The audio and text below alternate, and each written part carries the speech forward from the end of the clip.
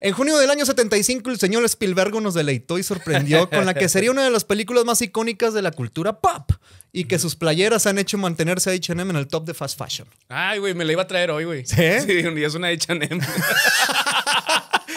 De hecho, en el programa con Luiki Wiki la traigo. Ah, sí. Sí, saludos, carnal. Discúlpame por, por ser parte de esa gente que batalla con tu nombre. Yo supe porque un día en la- en que estabas bien pedo te quedaste dormido y chequé que, de dónde era la Ah, playera. sí. Mientras te da H&M. besitos en el cuello, ¿no? Sí. Ah, bueno. ah. Estoy hablando de tiburón. Ah. O, o House, ¿no? Ojalá. Estoy hablando de Nirvana, la marca de ropa O de. Nirvana o de Metallica, la Sí, marca de ropa. La película de terror acuática ah, sí, nos lleva a una pequeña comunidad con una playita media pedorra. Donde los turistas salen hechos madre del agua cuando se dan cuenta de que un escualo de muchos metros se come un niño de la nada. Ah, la Michael Jackson. Así es. Ah, Nos van a censurar por eso. perdón. Creando el caos y una trama muy interesante. Ok. Así es. Este largometraje fue un hitazo en las salas de cine. Hasta se dice que fue el primer blockbuster de verano de la historia, recaudando millones de dólares y poniendo la vara de Spielberg en alto para que todas las películas que se para todas las películas que se venían de este director. Muy bien. ¿Sí? Excelente Spielberg. Así es. Tiburón 1 nos dio una lección que, para dar miedo, no necesitas ni fantasmas, ni monstruos, ni extraterrestres. Con tan solo lanzar un escualo blanco tienes para horrorizar al público. Eso es un dato Sí, eso sí también es verdad. cierto. güey. Pero lo que no muchos saben es que detrás de, de la historia de ficción existió una inspiración en la vida real. güey. Ah, ¿cómo? ¿Neta? Sí, Sí, tiburón, tiburón está basada en una historia real, muy real. Ah. Hay tiburón. Pero es que también se me hace raro porque ya es que los tiburones no, no atacan a menos de que haya sangre, ¿no? Sí, o que confundan a su víctima. Con, Exacto. Disculpen. Con, ¿qué? con, Ah, pues con una foca. con un gusano. Sí, con un gusano. un sí. gusanito. Sí, Con con un changuito. Todo comenzó el primero de julio cuando un joven llamado Charles Van Sant se encontraba cerca de la orilla y ahí fue atacado por el tiburón que lo dejó herido de gravedad. Barzan fue rescatado por otras personas que se encontraban cerca, pero había perdido demasiada sangre y pues se petateó ahí en, plena orilla, ¿verdad? Henry. En cortito. El segundo ataque sucedió el 6 de julio, a unos 70 kilómetros donde Charles había sido atacado. Esta vez la víctima fue Charles Brother, o sea, su- también su tocayo. Sí, que fue, o sea, brother y no Manson. Charles Brother y no más. ah, el luchador, el de. el- no, Charlie, Charlie Manson, Manson, ¿no? Ese es sí, Charlie sí. Manson, güey. Sí, que trabaja. Ese Charles Brother trabajaba en un hotel que estaba por ahí y este fue atacado también en aguas de baja profundidad muy cerca de la orilla y murió antes de que alguien pudiera llegar a salvarlo, güey. Chin, qué mala onda, güey. O sea, está cabrón ese tiburón, eh, güey. Sí, sí. Sí, anda con todo, güey. Andaba con todo. En 1917 era un año muy, raro, güey. sí. Sí, fue. Ah, no, fue en el 16, perdón.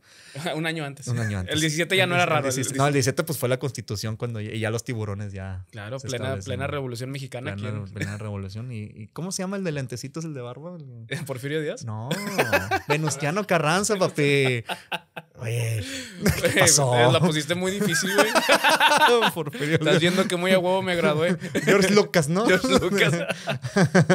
Los siguientes dos casos sucedieron el verga. 11 y 12 de julio, que fue cuando comenzaron a reportarse ataques en el río Matawan. Ah. Matawan, Matawan, donde un niño presentó una serie de raspones después de, de un encuentro con un tiburón y al día siguiente un hombre vio el animal nadando río arriba, pero nadie le hizo caso. Después de que ignoraron sus advertencias, un niño llamado Lester Stilwell fue arrastrado bajo el agua por el animal y aunque fue rescatado murió a causa de sus heridas al poco tiempo. No mames, que pinche tiburón ah, los deja moribundos, güey. Sí, güey. Culero, güey, sí. Nada más mataba por placer el vato, güey. O sea, ni- mínimo que haga bien el jale, güey, ya. De que ya, güey, mátame, güey, ya. Chinga su madre.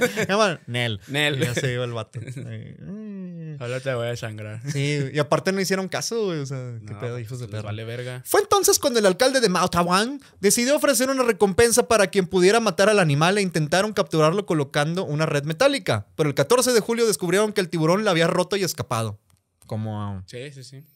como en la obra, ¿verdad? Como en la obra. Pero el miedo no duró mucho más, ya que un hombre llamado Michael Schelzer, como Ok. Schelzer, como el Caselzer, Sí. encontró el tiburón blanco de más de 160 kilos atrapado en su red de pesca, güey. Ah, la bestia, güey. Pero pinche pez de. pe- pez- digo, la red así de cangrejo para agarrar cangrejos. De, la sí, de esas redecillas ahí de, las que te pones en la cabeza cuando estás atendiendo salchichonería, güey. Que estás cortando el jamón. Sí, sí, sí. Sí, oye, qué teto trabajar de salchichonería. Ah, ah, me Ya está dando ya mucho no, cringe, güey. Sí, güey, está bien horrible ese pedo. Sí. Es que es, es mi programa favorito de ahora en adelante, güey. Me da un chingo de risa cómo están haciendo el desvergue, güey. Supieron cómo, bro. Supieron cómo. Sí. No saben si ese mismo tiburón fue el que mató a los tocayos y a Lester, pero fue la inspiración del escritor Peter Benkley para hacer la novela que más tarde se convertirá en la película que todos conocemos. Dicen que cuando encontraron al tiburón eh, traía pues, 160 kilos, imagínate, y tenía piececitos de humanos, güey. No mames, adentro, sí.